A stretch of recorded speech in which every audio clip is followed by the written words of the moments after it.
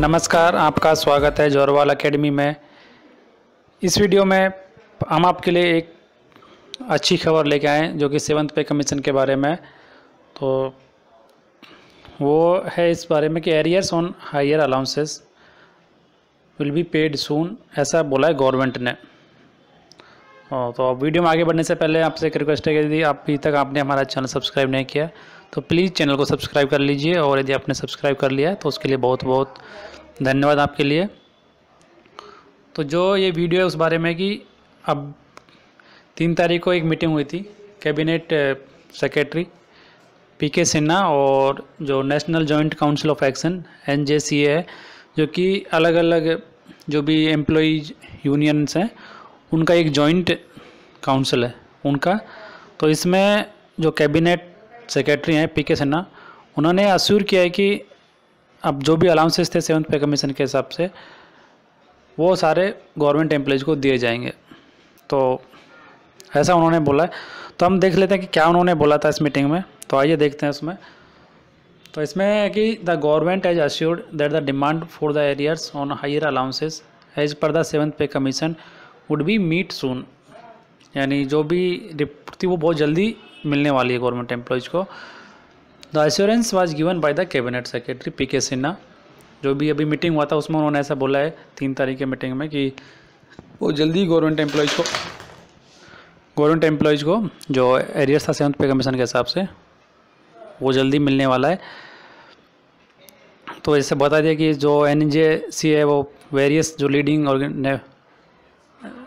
जो यूनियंस है, उनका एक कम्बाइंड रिप्रेजेंटेटिव है।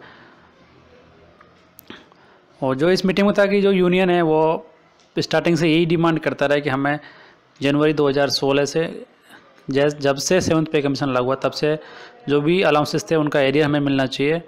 और इसी बारे में जो cabinet secretary P K Sinha ji हैं, उन्होंने अश्योरेंस दिया है कि गवर्नमेंट एम्प्लॉयज़ को जो अलाउंसेस हैं, वो बढ़े हुए मिलेंगे और उनका एरियर भी उनको मिलेगा।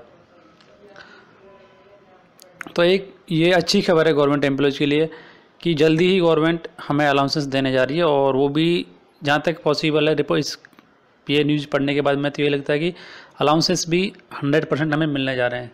जैसा कि कैबिनेट सेक्रेटरी ने बोला है। उन साथ में ये भी बोला है कि द जो रिपोर्ट सबमिट की थी लवासा पैनल ने, वो भी अभी उसका एग्जामिनेशन चल रहा है और वो एग्जामिनेशन होने के बाद में जल्दी ही उसको गवर्नमेंट इम्प्लीमेंट करने जा रही है। यानी the cabinet secretary during the meeting assured that the same would be implemented soon यानी गवर्नमेंट भी अभी बहुत जल्दी उसको इम्प्लीमेंट करने जा रही है। और जो कैबिनेट सेक्रेटरी ने ये भी बोला है कि जो भी कुछ रिकमेंडेशंस थी यूनियंस की उनको भी उसमें कंसिडर किया जा रहा है। तो ओवरऑल हम यही उम्मीद कर सकते हैं कि हमें एर जो अलाउंसेस के एरियर थे, वो भी मिलने जा रहे हैं और जल्दी ही हमें अलाउंसेस भी मिलने जा रहे हैं। तो एक अच्छी खबर है। उम्मीद करते हैं आपके लिए थोड़ा यूज़फुल रहेगा, या आपको अच्छी खबर लगेगी ये। तो प्लीज़ वीडियो को लाइक कीजिए और एक बार फिर से रिक्वेस्ट है कि आपने चैनल अब तक सब्सक्राइब नहीं किया। तो चैनल को सब्सक्राइब कर लीजिए, जिससे जैसे ही कोई ऐसी अच्छी खबर मिलेगी, आपको तुरंत उसका नोटिफिकेशन मिल जाएगा और आपके लिए वो खबर पहुँच जाएगी। Thank you